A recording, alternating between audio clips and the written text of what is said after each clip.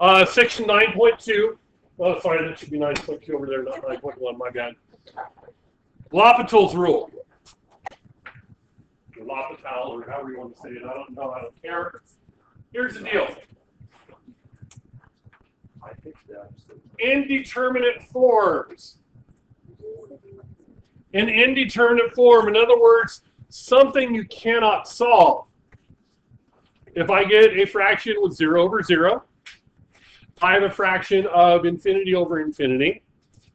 Infinity times 0, infinity times infinity, um, x to 0 to the infinity power, infinity to the 0 power, something like that. These are called indeterminate forms.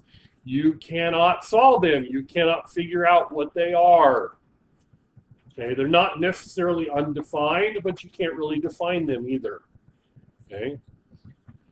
If you are trying to take a limit of a function and you get this, you get an indeterminate form. You get basically a limit you cannot solve. They are still solvable. Okay, so if you're doing substitution and you get one of these forms, in our case, the only ones we will be dealing with in this class are where you get either 0 over 0 or infinity over infinity. We will not worry about the other indeterminate forms in this class. So if you're taking the limit and you get one of those forms, there is a way to solve the problem. And that's L'Hopital's rule, which says let f and g be two functions such that f of a and g of a are equal to 0, and such that f prime of a and g prime of a exist. In other words, when you plug in, when you substitute a into, into f and into g, you get 0. But the derivatives of f at that point and g at that point do exist. And if f prime of a is not equal to 0, then the limit as x approaches a of f of x over g of x is equal to the limit as x approaches a of f prime over g prime. Normally when we take the derivative of a rational function, we use the quotient rule, f prime g minus g prime f over g squared. That does not apply to L'Hopital's rule. L'Hopital's rule says if we have a rational function and we cannot do solve by find the limit by substitution because we get 0 or 0 or infinity over infinity, take the derivative of the numerator, take the derivative of the denominator, and try again.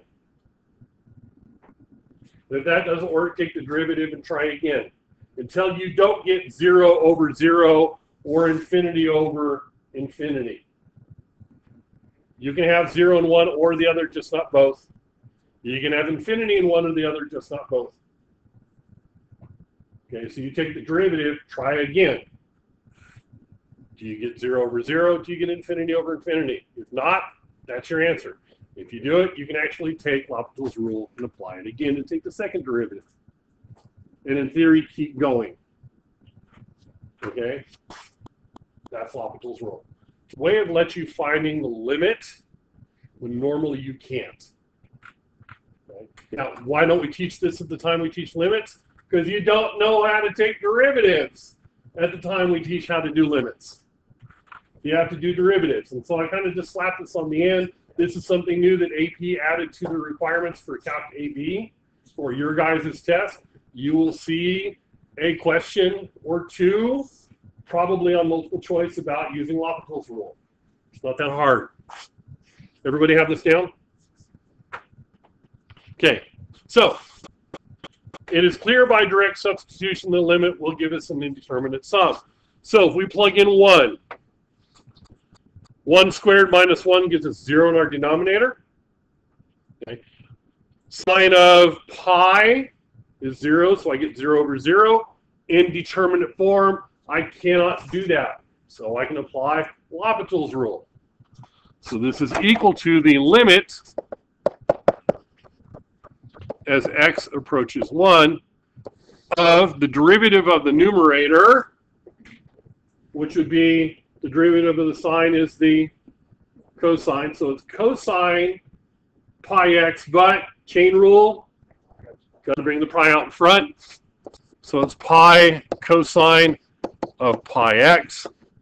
And the derivative of x squared minus 1 is 2x. Can I substitute 1 into there and not get 0 over 0? Yes, because I know my denominator won't be 0, so I'm going to go ahead and plug it in. We'll figure out what the numerator is. Substitute. I get 2 in my denominator.